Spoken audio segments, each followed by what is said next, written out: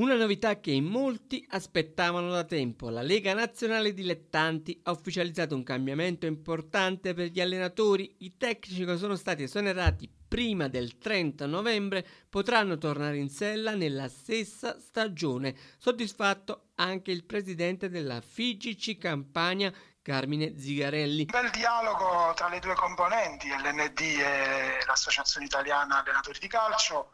Eh, siamo riusciti in quello che era l'intento anche a tutela dei nostri presidenti, i quali eh, possono esonerare, quindi esonerando un allenatore prima del 30 eh, novembre, gli permettono di poter eh, andarsi a tesserare con altra società eh, che è che non militi nello stesso girone o nello stesso campionato.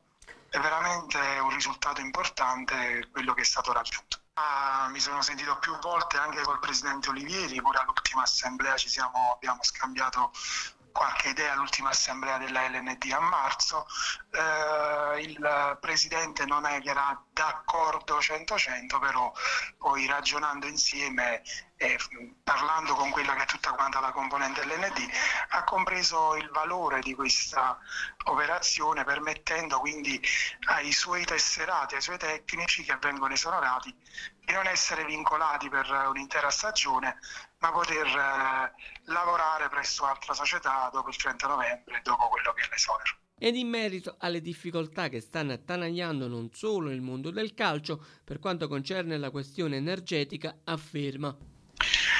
Si pensa a quello che è un efficientamento energetico delle strutture per ridurre naturalmente diventare autosufficienti dal punto energetico.